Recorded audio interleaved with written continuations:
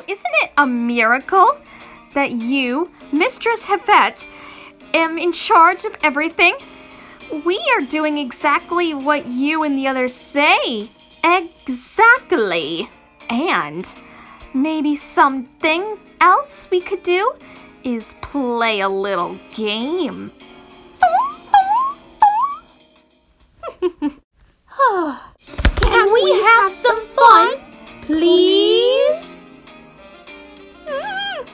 What do you think we should do? I think we should go out for some lunch or something.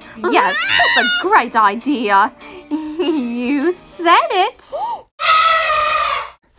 Yeah, I'm afraid I'm gonna have to ask you two to leave, please. Yeah. um, oh, uh, I.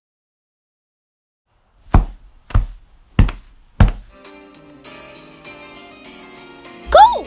We really shouldn't disturb her. I know that, and you know that. Nothing can stop me. Nothing. I can do this all by myself. My friends are relying on me. They really, really are. Every single one of them.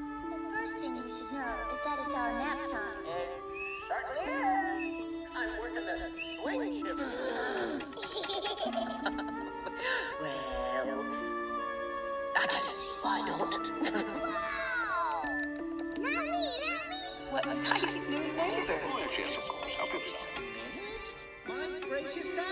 Happy to tell you my secret for winning at booster. I did help you get the haycorn and bring you across the river. Oh, Balloon, we have a very important thing to do today. I will do this my way.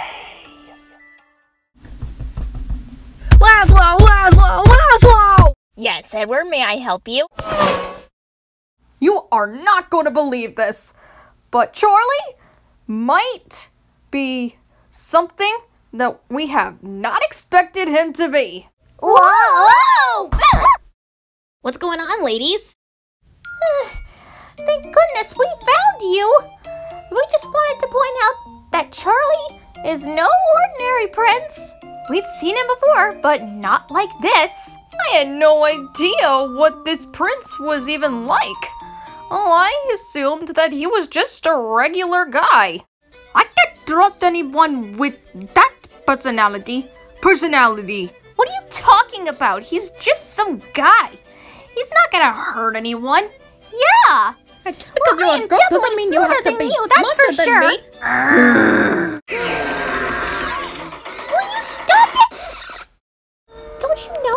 fighting and arguing isn't going to make anything better?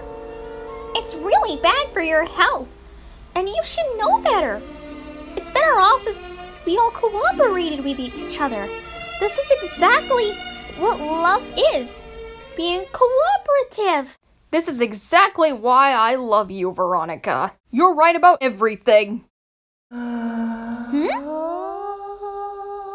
Whoa.